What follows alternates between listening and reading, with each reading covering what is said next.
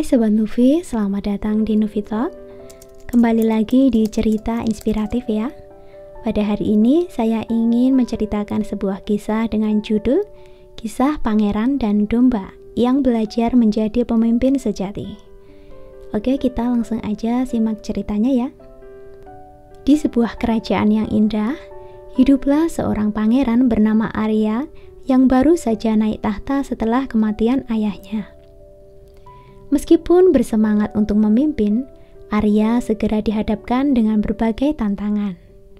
Tanpa hujan, kekeringan melanda dan menyebabkan banyak kerugian bagi petani serta membunuh banyak hewan dan tanaman di hutan. Tidak lama kemudian, penyakit tak dikenal menyebar dan merenggut banyak nyawa. Beberapa bulan pun berlalu, keadaan mulai membaik.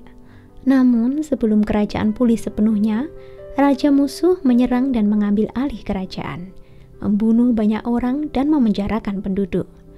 Pangeran Arya berhasil melarikan diri dan memutuskan untuk mencari bantuan dari sahabat masa kecilnya, Raja Aditya yaitu dari kerajaan tetangga. Dalam perjalanannya, Arya merenungkan masa lalunya. Ia dilahirkan dan dibesarkan untuk menjadi raja dari kerajaan yang kuat dan kaya namun kini ia kehilangan segalanya. Dia merasa segala sesuatu yang terjadi adalah karena kesialannya, berbeda dengan ayahnya atau raja lain yang ia kenal. Setibanya di istana Raja Aditya, para penjaga tidak mengizinkan Arya masuk karena penampilannya yang kotor dan pakaiannya yang compang-camping. Setelah mencoba berkali-kali dan gagal, Arya mengambil pekerjaan agar dapat membeli pakaian baru. Beberapa hari kemudian, dengan penampilan yang lebih baik, ia akhirnya diizinkan bertemu temannya. Aditya, sahabatku, semua yang telah terjadi padaku sungguh menyedihkan. Kerajaanku hancur, rakyatku menderita, dan aku tidak tahu harus berbuat apa. Kata Arya dengan suara bergetar. Raja Aditya mendengarkan dengan penuh perhatian. Setelah Arya selesai bercerita, Aditya pun berkata, Arya, aku akan membantumu. Hmm, namun, aku tidak bisa langsung memberimu pasukan atau harta. Sebagai gantinya, aku akan memberimu seratus ekor domba. Arya terkejut dan sedikit kecewa. Aku datang untuk meminta bantuan memulihkan kerajaanku, bukan menjadi gembala pikirnya. Namun tanpa pilihan lain, Arya menerima domba-domba tersebut. Beberapa hari kemudian, saat Arya sedang mengembalakan dombanya, sekelompok serigala menyerang dan membunuh semua domba. Arya kemudian lari menyelamatkan diri dan kembali lagi ke istana Raja Aditya untuk meminta bantuan. Aditya, serigala telah membunuh semua dombaku. Apa yang harus aku lakukan sekarang? Aku sangat bingung Aditya. Tanya Arya putus asa. Kemudian Raja Aditya memberinya 50 ekor domba lagi.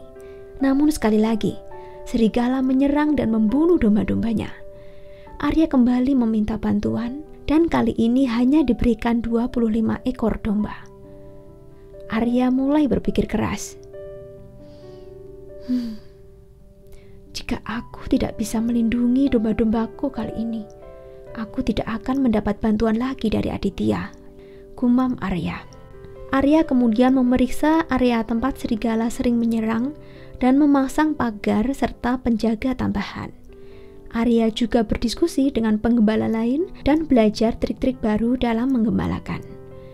Perlahan, kawanan dombanya tumbuh menjadi seribu ekor. Setelah beberapa tahun, Arya kembali ke istana Raja Aditya dengan penuh kebanggaan. Aditya, lihatlah kawananku sekarang. Dari 25 ekor domba yang kau beri, aku telah mengembangkan kawananku menjadi seribu ekor. Aku belajar banyak dari pengalaman ini. Terima kasih ya. Raja Aditya pun tersenyum. Arya, aku bangga padamu. Kamu telah membuktikan dirimu sebagai pemimpin yang tangguh dan bijaksana. Aku tahu kamu memiliki kemampuan untuk memimpin. Ketika kamu pertama kali datang, kamu belum siap. Kamu terlahir dalam kekayaan dan kekuasaan, tetapi kamu belum mendapatkan pendidikan dan pelatihan yang tepat untuk memimpin rakyatmu. Sekarang, setelah melalui semua ini, aku yakin kamu siap. Aku akan memberimu negara bagian untuk kamu pimpin. Arya terkejut dan bertanya, "Mengapa kamu tidak memberiku ini sejak awal? Mengapa aku harus melalui semua penderitaan ini?"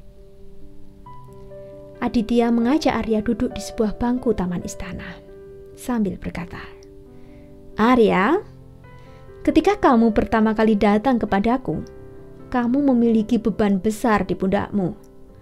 Kamu dilahirkan dan dibesarkan untuk menjadi raja, tetapi kamu belum pernah benar-benar diuji.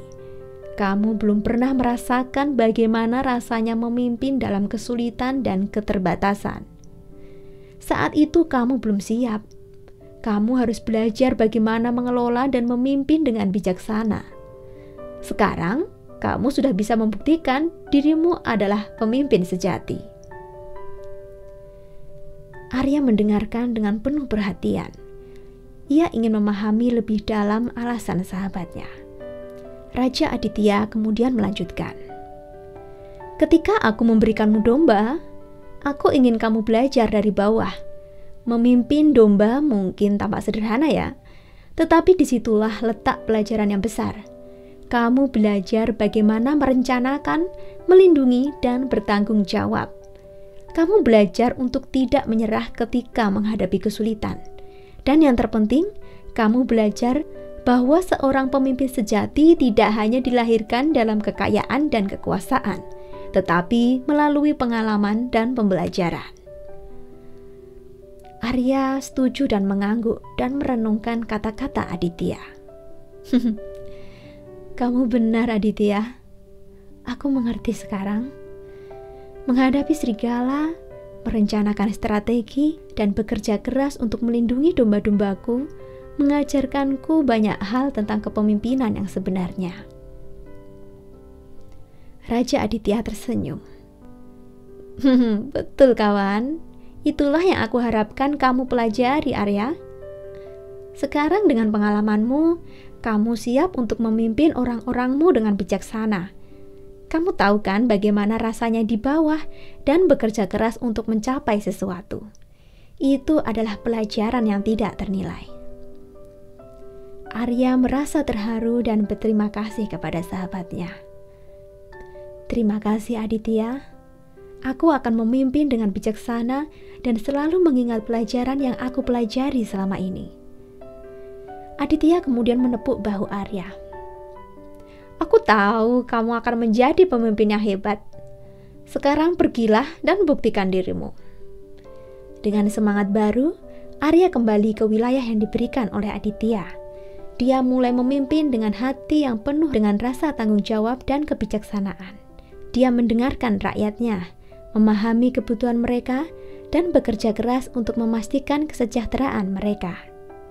Dalam beberapa tahun, wilayah yang dipimpin Arya berkembang pesat.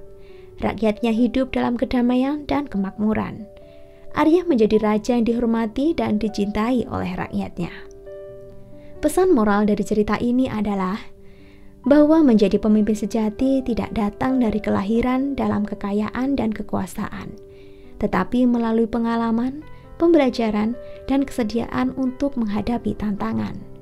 Seorang pemimpin sejati adalah seseorang yang memahami kebutuhan rakyatnya atau bawahannya, bekerja keras untuk kesejahteraan mereka, dan tidak pernah menyerah pada kesulitan.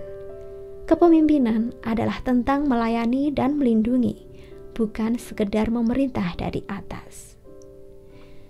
Demikian tadi ya Sobat Nufi cerita pada hari ini.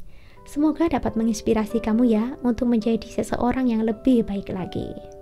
Jika kamu merasa cerita ini bermanfaat dan menginspirasi, jangan lupa like videonya dan subscribe ya, supaya kamu tidak ketinggalan video-video selanjutnya.